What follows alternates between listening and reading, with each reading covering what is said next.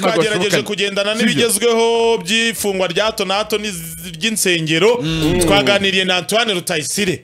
Nawe yirekuye kabisa. Umwe mu bantu bayikoroje mu minsi yashize. Ariko ngo yitabye na ribu yiriwe- ibyo bintu yabihakanye. ibyo yari yabihakanye. Ibyo bintu yabihakanye kabisa. Mm, nta muntu wigeze hari amuhamagara ubushize yari yavuze ibikira ariko numva nabyibuka neza. Mm, urumva arimo atera komantere kuri izi fungwa z'isengero. Ko bagomba kwitonda. Abari kubikora- nyine bwafashwe mu buryo bw'inyungu bwo gushaka guhangana cyangwa se guhangana n'inzego. Ariko we nawe ubwo yavuze ko yarengereye yabikoreshejwe n'umujinya yari afite muri icyo gihe nyine. Bamuhamagaye mu gitondo amaze gusoma tweet. Niko bivuze mu kiganiro amaze gusoma tweet zitandukanye no asa n'ugize kamere nk'upasire nyine birumvikana. Umunyamakuru amuhamagaye rero nawe musubiza nyine mu buryo umeze nk'umuntu arakaye ariko nyuma aho nyine yaje kubisabira ibi- urumva pasiteri ubyuka mu gitondo uhura na twite k'imfungo Eh, ko insengero zafunzwe ariho serivisi ze zose zibera. Ni nko kubyuka mu gitondo ukabona itangazo ngo radari yafunze cyangwa radiyo ngo zirafunze. Uko byagenda kose wagira ngo radiyo barimo barazifunga Eh, urumva emosiyo zigize None yata- ya- nyine mu buryo arimo arimo emosiyo ararengera cyangwa se atanga ubutumwa nawe avuga ko hamwe amakosa atatu yakoze. Baraza kwiyumva ayo makosa agira n'inama aba- youtubers. Ababwira ati tuzi ko bafashe ari amagambo yavuze bayahuza n'ubutumwa perezida yigeze kuvuga bibiri na cumi n'icyenda icyo gihe. Eh, avuga ku bijyanye n'amadini n'iki byose. iki? Eh, aha ubwange mubibona kuri youtube. Ibyo nabyo yavuze ko bitari professional kwa youtubers nubwo ari hakunze gutanga ibiganiro bitandukanye ariko yavuze ko barengera nabo bagomba kwikosora. Okay. Ifungwa rya hato na hato by'insengero nabyo tubyinjiremo isibaradari twaganiye na Antoine Rutayisire. Ni umwe mu bagabo bafite profile nini cyane ku birebana n'iyobokamana wenda imibare nimenyetso pundi yaduciramo. Antoine Rutayisire ni muntu ki pundi. Antoine Rutayisire ni umugabo wubatse akaba ari mu myaka nawe y'izabukuru kuko aherutse guhabwa pasiyo muri angirikani bayitangira ku myaka mirongo itandatu n'itanu buriya akaba yarayoboye paruwasi ya hano mu kiyovu angirikani itera imbere bamwe muri remera naho hateza imbere anubaka cyane baranamwishimiye bamu- bamuha iriya pasiyo banamuha kado y'imodoka afite dogitora yabonye afite imyaka mirongo itanu n'umunani mu bijyanye na teolojiya akaba yigisha muri kaminuza ni umushakashatsi n'umwanditsi w'ibitabo yagize uruhare mu itegeko nshinga rya bibiri gatatu ryatowe yari mu bari bari hariya muri muri ya hoteli n'urugwiro bari kuvugura itegeko nshinga bashaka kurishyiraho bwa mbere bibiri gatatu ari mu bari bahari muri iriya nama ya bariya bari bahari kiriya cya bibiri gatatu ni umwe mu bagize uruhare mu kubaka umwe n'ubwiyunge biciye muri komisiyo y'igihugu y'ubumwe n'ubwiyunge ari nk'umujyanama cyangwa se ari umucurabwenge yagize uruhare mbere ya jenoside ho gato na nyuma ya jenoside kubaka abanyarwanda biciye mu iyobokamana agiye ategura ibiterane byigisha abanyarwanda kubabarirana buriya muri gacaca bamwe mu babariranaga byagirwagamo uruhare n'amasengesho bari barateguye na nyuma aya masengesho yagiye abera muri za gereza ba- bamwe bakemera icyaha abandi mu nsengero bakemera icyaha bagasobanura imbabazi yagiye agira uruhare muri izo politike. Ni n'umwe mu bagize uruhare mu kugira ngo nibura i- iyobokamana rigira uruhare mu iterambere ry'ibikorwa bifatika mu Rwanda. Izo za mituweli kugira uruhare muri za politike z'igihugu ari amasengesho yo gusabira igihugu ari mu bagize uruhare mu kuyobora no gutanga ibiganiro bitandukanye. Akaba rero ntekereza ko ni umwe mu banavuga kuri social media ku nyungu zitandukanye buriya kuri za YouTube no mu bitangazamakuru ni umwe mu bapasiteri dufite kano kanya utanga umucyo ku ngingo runaka ariko by'umwihariko ku gihugu ku iyobokamana n'umuryango. Akaba anagira uruhare mu kubaka imiryango. Nguwo nguwo rero Antoine Rutayisire ibyo byose ni byo byatumye natwe tuzindura kamera n'amarikoda ibintu byose bifata amajwi n'amashusho tujya kumuhiga. Ibyo twaganiriye na byo harimo ibiki venke? Harimo ingingo igaruka ku bijyanye no gufunga insengero zikora ibintu byasakuje cyane mwe ribaza bati izo nsengero zose zirahari ko imibare yabaye myinshi. Ariko icyo yagarutseho ni uko bamwe mu bakristo ba- bagize bakavuga bati ibi ngibi bifite aho bihuriye na antikristo. Bavuga ati iby'iminsi ya nyuma. Ariko hari icyo yaje kuba bivugaho dore ko bamwe bavuze bati noneho karabaye antikristo ngo byatangiye n'iki aho ngubu hari icyo yabivuzeho ikindi ari buze kugarukaho ni ibijyanye n'ubutumwa yavuze ijambo yavuze ubwo ibikorwa byari bitangiye kuba.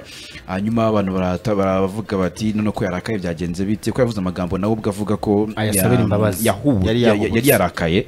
Ubwo nabyo araza kugira icyo- icyo abivugaho gusa icya mbere yavuze ni ikijyanye n'ubutumwa yahaye abakristo muri rusange bafashe- bashatse kubigereranya n'ibikorwa bya antikristo zikora ibintu nyine bivugwa cyane bijyanye n'iki gihe. ngo bavuga ko turi mu bihe bya nyuma ubwo n'ubutumwa baje kubagenera nk'umupasiteri cyangwa se umuntu bafatiraho icyitegererezo bamwe mu bakristo bangaha mu rwanda dore ko babimaze muri igihe kinini. Byose naho bihuriye na antikristo ubundi antikristo ni iki kirema antikristo ku muntu umvishe icyo kintu ubundi nko numvishe rutayisira igarutseho cyane ati ntabwo ari antikristo kubera ko n'abasilamu barimo. Ubundi abasilamu ntabwo antikristo bareba. Oya antikristo uri ni abantu barwanya ah, aba- aba- abakristo nyine cyangwa se barwanya ubundi abenshi babishyira kuri yesu cyangwa se kubemera izuka. Izuka rya- ryo- ry'umwana w'imana ah, ari we yesu kirisito abayisilamu rero bo ntabwo bemera yesu. Bo bemera muhamadi ni muhammad. Intumwa y'imana. Eh, rero niyo mpamvu babishyizemo aho ngaho ngo- ngo hari si insengero gusa kuko ari zo z'abakristo. Abayisilamu bamwemera nk'in- nk'intumwa intumwa. Nk'intumwa Eh, yesu. intumwa y'imana. Oya baravuga Eh, yesu bamufata nk'umuntu yesu usanzwe nk'umuntu usanzwe. eh, ariko inkuru yose yo bakayemera. Eh barayemera ariko bakamufata nk'umuntu yuko yaje usanzwe mu isi aje gucungura oya abantu. oya Eh, baba bagiye bamufata nka yesu nkawe. umuntu wabayeho Eh, agakora muri isilamu ibidasanzwe. muri isilamu muri Eh. isilamu yesu bamufata nka isa bamwita isa bamwita Isa. bakamufata nk- nk'intumwa isanzwe Muhammad ni we nk'uko bafata nk'umuntu wa Umuntu danje yagira nk'uko atara wakwemera yenda mose idasanzwe. ukemera muhammad ni we bafata nk'umuntu wa danje nk'intumwa y'imana kuko na korowani ba- bagenderaho nyine ni iya muhammad ni we wayanditse Eh, so rero kuvuga ngo ni, ibintu bya antikristo barundi bavuga ko bimwe mu bimenyetso biri bizaba birimo nyine no gufunga insengero no kujya gute? No gutoteza abakozi b'imana. eh, ari uretse ko no muri bibiliya niba byanditse muri uh, oya ni mu badiva ahubwo wa mugore witwa Elina G. White wahanuye ko mu minsi y'imperuka nyine abakristo bazatotezwa Bazatotezwa. insengero ziga- Zigafungwa. zigafungwa. Agacikamo ibice ari na byo baheraga ngo mwakagira idini ngo ryitwa gutya n'iryitwa gutya. Bagahangana bapfa ibiki n'ibiki hakaza abahanuzi b'ibinyoma hakaza donc ibintu byinshi bigiye bitandukanye. So rero hari abantu babihuza muri ubwo buryo bati ibyahanuwe birasohoye. Ngira ngo rero iryo jambo niryo rutayisire ya- yashakaga gusobanura. Urumva arimo ababwira ati ibi ibyo ngibyo bya antikristo n'ibitoteza abakristo ku buryo nakubwira ati hinduka usenge gutya niba wasengaga imana iyi niyisenga iyi ngiyi. Umva ko biratandukanye cyane. Ibyo barimo gufunga izo nsengero cyangwa se kuba ati bafunze insengero bafunga ibiti bafunga ubuvumo. Ni- ni insengero zitujuje ibisabwa cyangwa se ibigenewe ahantu hahurira ba abantu bantu? benshi. Ko hari n'abantu bajya basengera hari abantu tuvuge nka gutya dukora ku isibo kubera ko tuhirirwa dufite nk'isaha yo gusengera hamwe. Tukagira icyumba. Abo bantu ibyo bintu birabareba. Ntabwo ari urusengero. Aho ni amagurupe. abazundi k'abakristo ari bo batwigisha ngo urusengero ni umutima w'umuntu. Kuki batawusengera ariko ama- muri bibiri harimo guterana. guterana birimo muri bibiri Mm, hanyuma rutayisire ntabwo ari byo ngibyo yavuze kubera ko nanone yavuze ko abayituba nabo hari ukuntu bakabya. Hari abavuze ngo yarafunzwe hari n'abavuze ngo Hari yarafunzwe uwamufashe. na cyo buze Hari kukivugaho abavuze ngo kuko yarafunzwe kabisa. eh, nyuma- nyine nyuma- ibyo ngibyo babivuze kuko- eh. nyuma y'ubutumwa yaramaze gutanga avuga ko ngo yabonye ko ari mu yibuke nawe gitondo ko ari mu cya kare. bayituba mu yutuba se nawe afite agacano se ntabwo ari se atanga agacano. ibiganiro ariko ubundi rutayisire yazakoze agacano ku- akakura agacaro kiwe ba yagakora mani ni nk'abantu Nta bajya mwanya bambwira ngo fata ku yabona. mavuta bakuroze Nta gukorera abandi yabona. bantu ase ni ngombwa umuntu wese agira cano hari umuntu wambwiye ati bakuroze gukorera abandi bantu gute utagira cano yawe. Ibiki n'ibiki rutayisire we kubera icyo atagira nta cano mwanya yabona afata rutayisire buriya aba kandi yararitaye ndabona umwanya wo kujya mu biganiro. Yararitaye tayarinze icyo kiganiro cyo kirari wenda tuzabigarukaho ariko buriya bafite buri saha bafite ibyo akora. Uribuka ko ari umuntu kabona umwanya wo kujya mu biganiro. Biganiro. muri za kaminuza ntabwo ari kenshi venke. Kuno kwezi ntituri mu kwa munani. Uzarebe ko gupfa kuboneka kuri za youtube. Buriya aboneka gake gashoboka. Ushobora kumubwira ngo tuzakora ikiganiro akagwa amezi atatu. Izo za youtube rero uvuga vuga reka tubanze nta dutege amatwi twumve icyo yavuze ku YouTuber nyuma y'ibyo yari yatangaje yamagana iri fungwa rya hato na hato ry'insengero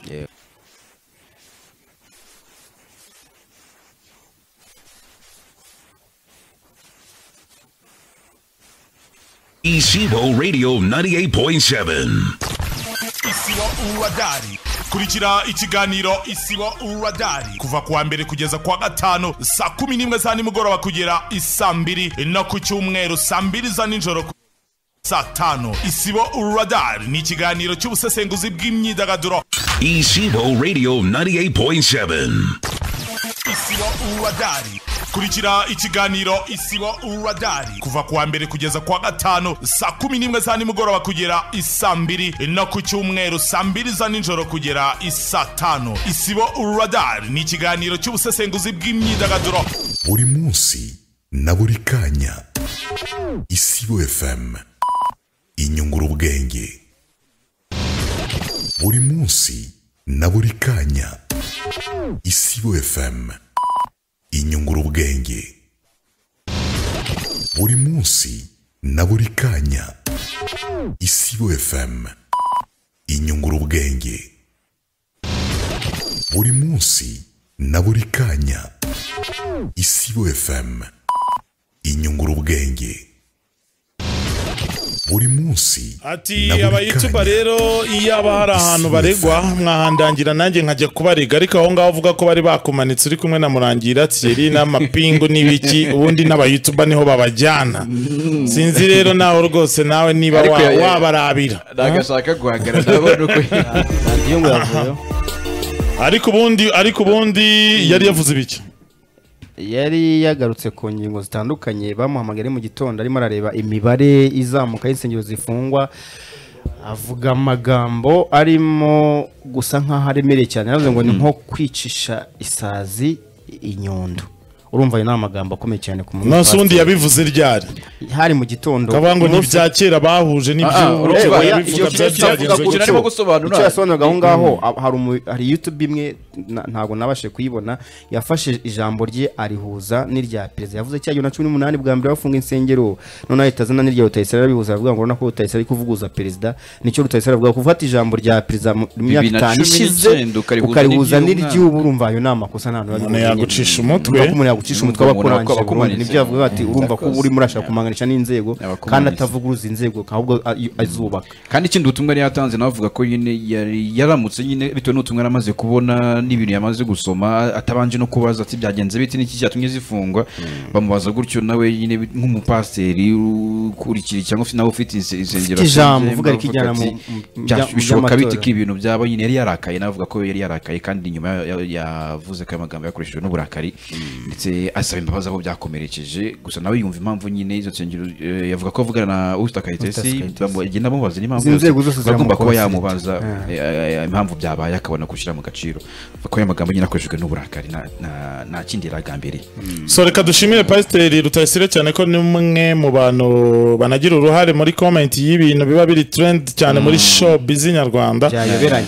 Hari umupasiteri umwe ariko nabonye avuga ngo uriya muntu wabatijwe na rutayisire azasubira mu batize bwa kabiri. Ni rutayisire ninde nde? Wabatije wa mudije ni- mushuti wa profete Ernest Nyirindekwe revera profete Ernest Nyirindekwe ewa ntari umupasiteri ariko ni pasiteri claude ninde nabonye yisize insenda ari gukora bifu kuri urusengero. ariko ubundi claude asengera. How? urusengero rwe se ruri mu nsengero zavutse YouTube. mutima we. Urusengero rwa mu mutima we. Hano Bamporiki ko atazafungwa ngo nadafungwa azafungura utu ngo eh, ngo n'amarogi. Ngo ngo yavuze ngo iki cyagiye bamporiki Ari kuburana. ajya aburana yaravuze banza ari nanjye wari umutunze mikoro ku rukiko. Yavuze ngo nafungwa nzafungura amaroji ngo nyishyiremo Areke. indaya niba ari indaya areke iby'ubupasiteri noneho Ari nyuma. pasiteri. naramuhamagaye ndamubaza ko bamukatiye abaye ururimi rwaranyereye. Niko yambwiye niko yambwiye. Ntabwo yarekeye aho. Yarambwiye ati hanyuma punda ururimi rwaranyereye. ahanura ko ngo Bamporiki azaba ari mu bayoboye kampeni z'umukuru w'igihugu. Eh, katarari ati nyine ndi ururimi rwaranyereka ati Bamporiki nyamara nubwo bafunga insengero zimwe na zimwe rwose abantu bakababara hari insengero ziyobowe n'abashumba nabo bakema Ariko we nta rusengero ayoboye no mu bintu nyine bagendeyeho Nta ni ukureba rusengero niba ayoboye. umuntu uyoboye urusengero abifitiye eh, impamyabumenyi Lisansi ya teolojiya, lisansi ya teolojiya. barebaga. insengero ariko barafungura youtube none se bwo niba niba niba afite abayoboke. Ibi bintu sinzi ngewe ukuntu Barafungura mbibona channel. Aho none se Eh, channel. barafungura cana Bafite se- cana se none se ibi- ibi- Yumva. ibyabaga byose ibi- kuri byabaye cha- kuri yongwe ntibishingiye kuri cana Eh, hari aga- urusengero Eh, bishingiye oya yari yarabivugiye muri church ya Foursquare icyo gihe nari mpari. Bijya Ageze- he yari yarahanuriye muri Foursquare ya Ase- Dr. Bi- Bishop Masengo yamutumiye ngo azasenge Ah, bira- nabwo bafashe Eh, oya, ibiganiro. ni- byaberaga kuvuga muri n'ibiriya- church biri Asundi bya- Yongwe. Ubwo yashinjwe mu byo rukiko. kurya amaturo n'ibiki? Mm, byari muri church Ubu nari none se ubundi mpari. Yongwe. Kuvuga- agira rusengero kesi yabayeho yo gu- yo gutubura wa mugore ngo uba muri amerika. Biriya- biriya byabaye ngo hari abantu bavuganaga online, yaramusengeraga kuri maradiyo kuri fone gutyo. hari undi uvuga ngo kugira ngo ng- warogewe mu bihugu biri muri east africa urame ibihumbi bitanu njye mu burundi njye tanzania njye no muri uganda njye na hehe ibyo byose bikabera kuri youtube. Eh. ndetse n'abandi n'abandi batekamitwe baza kuri youtube bita abahanuzi ariko yagahanwa we yahanwa ku giti cye kuko si ariko arahanwa amatitire Abo bafite, ngabo ngo se Reverend ntawe uzi. Eh, barabahana ku giti cyabo, bari barabita ba Reverend. ese Buri- ntawe uzi wahanuye ngo Nyabugogo- izaba ahantu h'impunzi Ara- ntiyafunze ara- n'ubizi ari amatitire N'umutwe yafunze. Gitwaza, Apotre Ari amatitire wazinze yakoreye. avuga ati, "Bariya Amatitire barayahabwa mu imihirimbiri." Yara- yaravuze ati biriya mihirimbiri